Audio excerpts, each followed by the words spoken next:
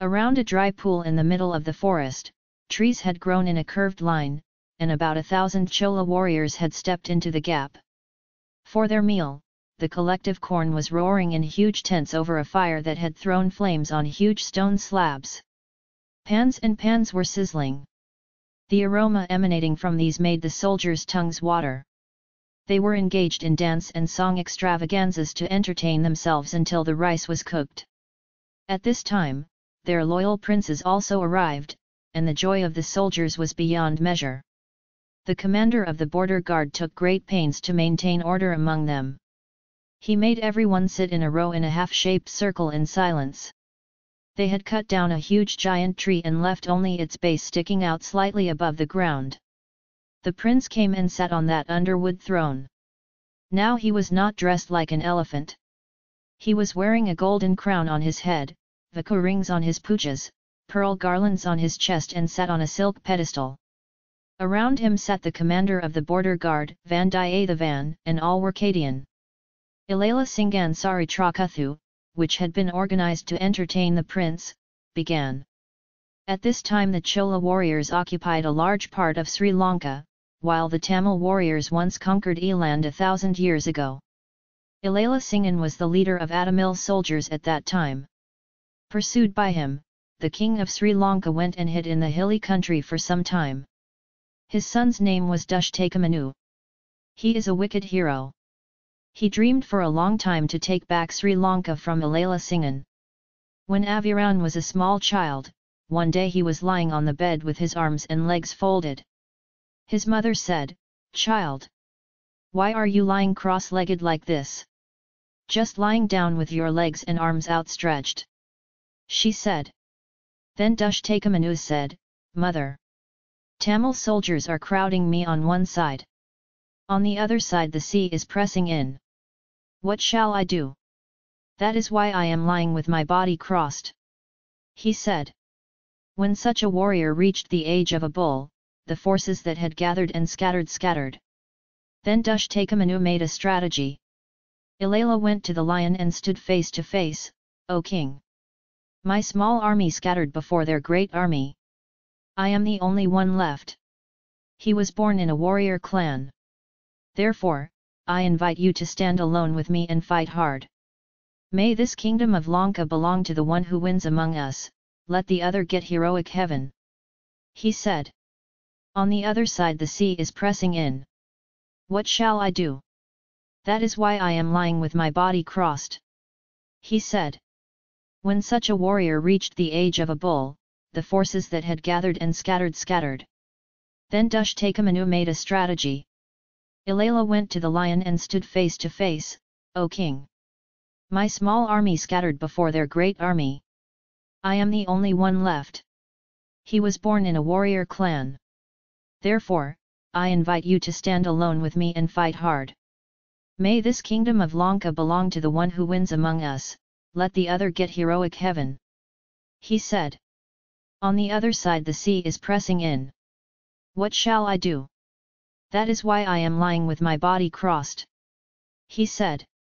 When such a warrior reached the age of a bull, the forces that had gathered and scattered scattered. Then Dushtaka made a strategy. Ilala went to the lion and stood face to face, O king! My small army scattered before their great army. I am the only one left. He was born in a warrior clan. Therefore, I invite you to stand alone with me and fight hard. May this kingdom of Lanka belong to the one who wins among us, let the other get heroic heaven. He said. When such a warrior reached the age of maturity, the forces that had gathered the forces were scattered and scattered. Then Dushtaka made a strategy. Ilala went to Singan and stood face to face and said, O king!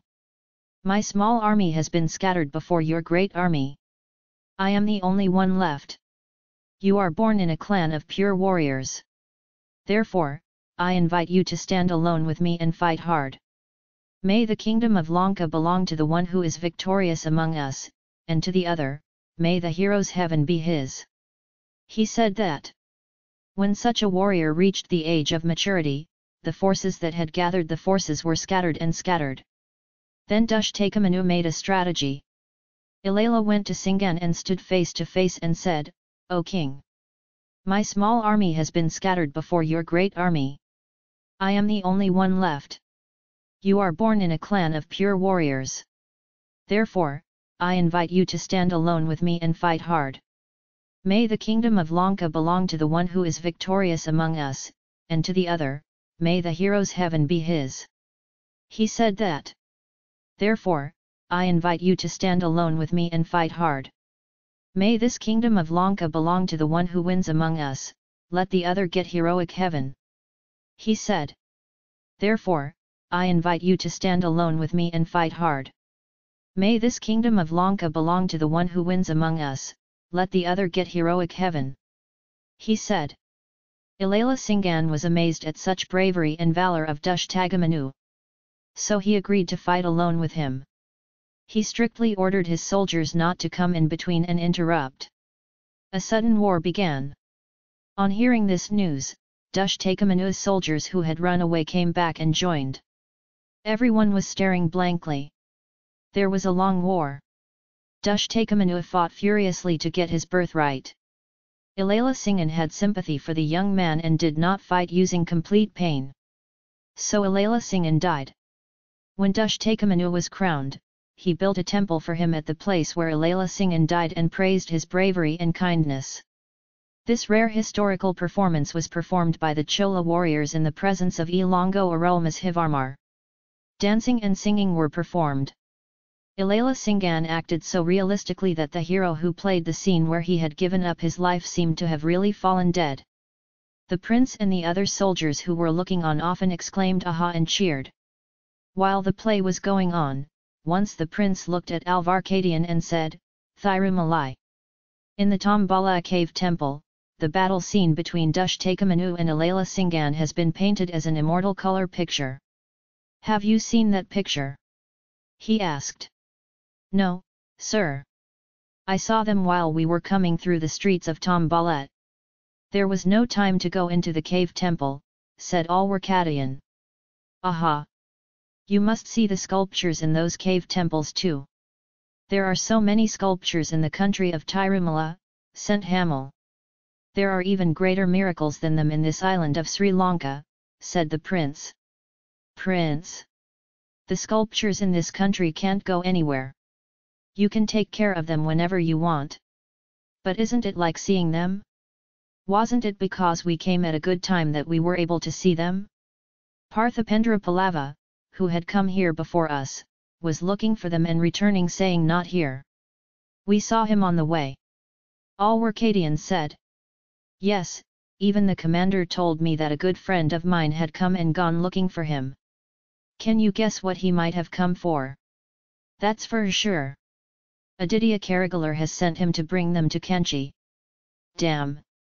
You know. Here's your friend who has brought it so safely, and you seem to know what's written on this piece of paper. They have written to their fathers to come to Padayara immediately. Prince! I was watching from the nearby flag house hidden in the flag house when Kundava Devi privately wrote this letter and gave it to our warrior. Vandiyadeva from behind Tirumala pinched his back tightly. Alwarkadian slapped him on the back and said, This is a wicked forest, even at night the beetle bites. He said. The prince got a little angry and said, Sick. What is this business? Have you begun to show your skill in the name of my dear brother? Said. I have brought him here so safely as I have seen it. Prince. Lord Buddha knows the song I performed to save him from getting into trouble all along the way. If he had come through Anuradhapura, he would certainly not have arrived here. He would have fought with someone on the way and died. That is why I brought him through the forest. There too. He tried to fight with a Madhyana. I killed the Madhyana with my staff and brought him safely to them. He said. Oh. So you came to Sri Lanka to bring him safely to me, what? No, sir. I have also brought them a message for my part. What is it?